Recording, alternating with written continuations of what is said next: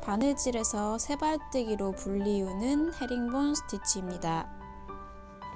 헤링본 스티치는 왼쪽에서 오른쪽으로 진행합니다.